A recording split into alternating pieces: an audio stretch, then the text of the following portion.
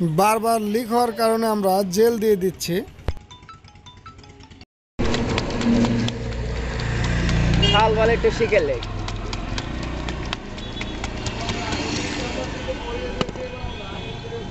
তো এটা টায়ার হ্যাঁ? এই টায়ারটা বারবার লিক হয়ে যাচ্ছে টায়ার ভালো আছে। তো লিক হয়ে গেলে দেখা যায় যে বাইকটি ঠেলে আনলে টিউবের গোড়াটা নষ্ট হয়ে যায়, নতুন টিউব লাগানোর ফলেও দেখা যায় আবার লিক হয়ে যায়। কাটা বিঁধলেই লিক হয়। তো কাটা ঘন ঘন বিধার কারণে আমরা কিন্তু জেল আঠা দিয়ে দিচ্ছি নতুন টিউব লাগানোর পরে, যাতে নতুন টিউবটা যদি কাটা বেঁধে, তো ওই অবস্থায় যেন চালানো যায়। আর এই জেল দিলে চাকা খুলতেও অসুবিধা হয় না।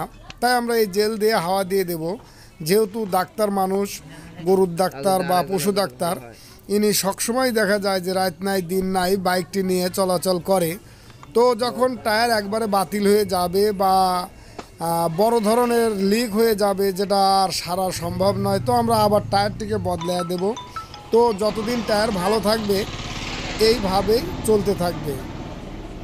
ধন্যবাদ সকলকে। ভালো থাকবেন, সুস্থ থাকবেন।